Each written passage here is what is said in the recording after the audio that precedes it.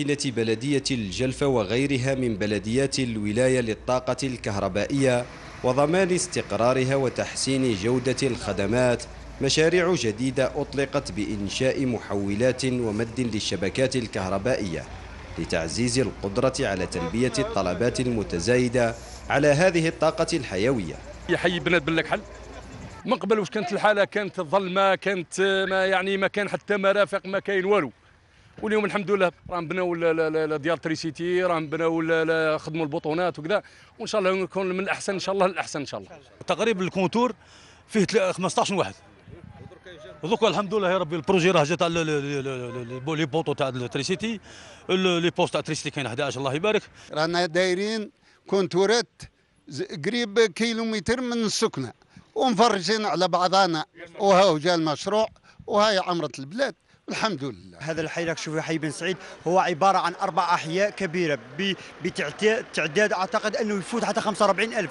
لكن الحمد لله اليوم نشكر الدولة الجزائرية اللي وفرتنا لنا جابتنا الكهرباء.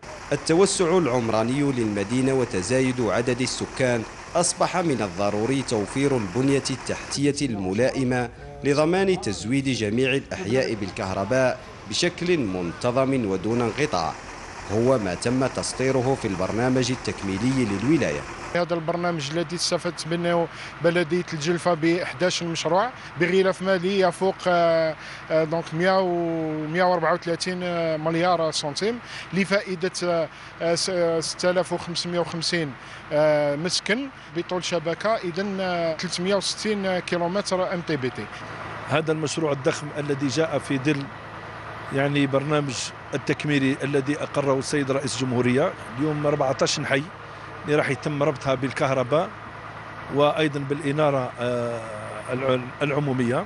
على مستوى الولاية بأكملها تم رصد ما يفوق ألف مليار للتكفل بالغاز والكهرباء على مستوى جميع الأحياء التي تنعدم فيهم.